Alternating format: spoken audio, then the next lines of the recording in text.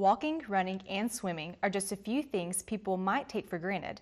But on an International Day of Recognition for a muscular disease, many are hoping for a cure. Yesterday was International Ataxia Day. Ataxia is a progressive neurological debilitating disease that affects the whole body.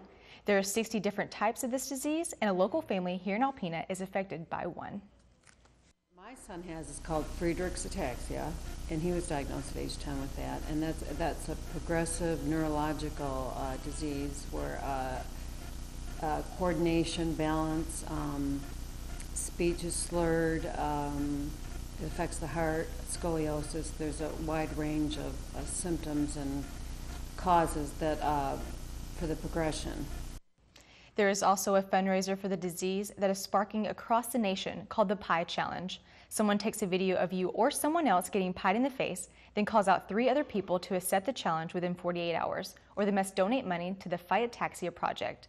The fundraiser ends October 4th, so if you would like to participate or donate money, visit the website on your screen.